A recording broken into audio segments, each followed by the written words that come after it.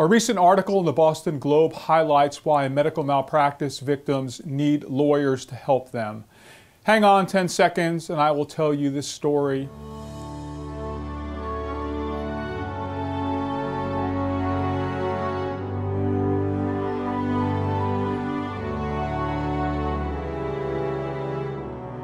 Hi, I'm Guy DiMartino, Florida medical malpractice attorney and author of a guide to Florida medical malpractice claims.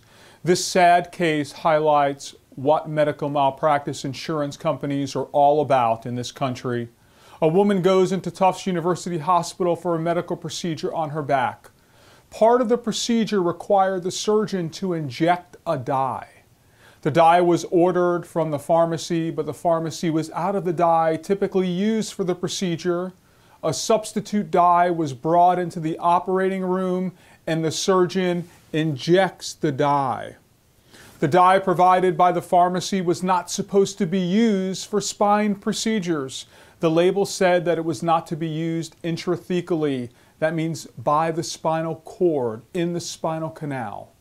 The patient does poorly after the procedure, and the doctor discovers that he used a dye that was not supposed to be used in or around the spinal cord. The doctor tells the patient and her family about the mistake. She dies shortly thereafter. Here you have a clear medical error with no excuse, a grieving family, and you know what the insurance company does?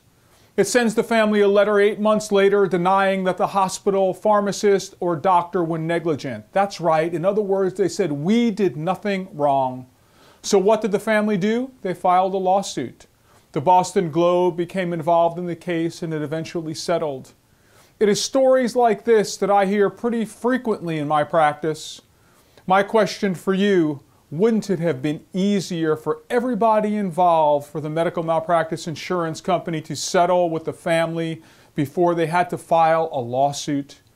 I share this information with you so that you understand the landscape if you or your loved one is a victim of malpractice.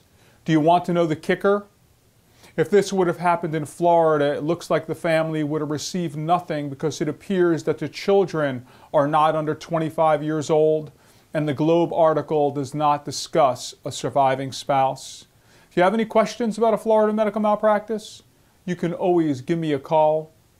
I am Guy DiMartino, meeting you at the intersection of law and medicine. Have a nice day.